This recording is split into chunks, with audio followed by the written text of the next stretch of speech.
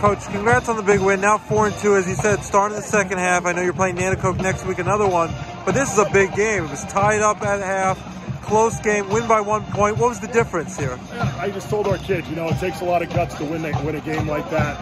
Um, you know, especially the way the second it was a tie game at halftime. They came down. They, they came down on the opening drive and scored.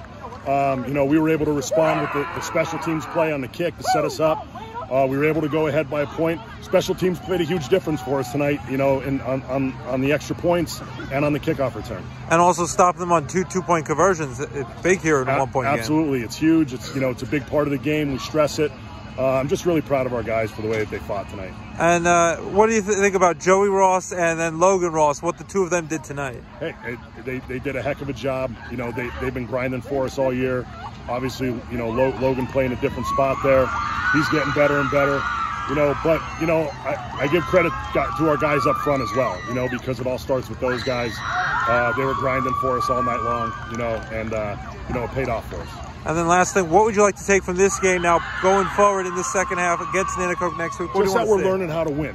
You know, we're, we're in close games and we're learning how to win. You know, and that's that that's really important as we as we move forward.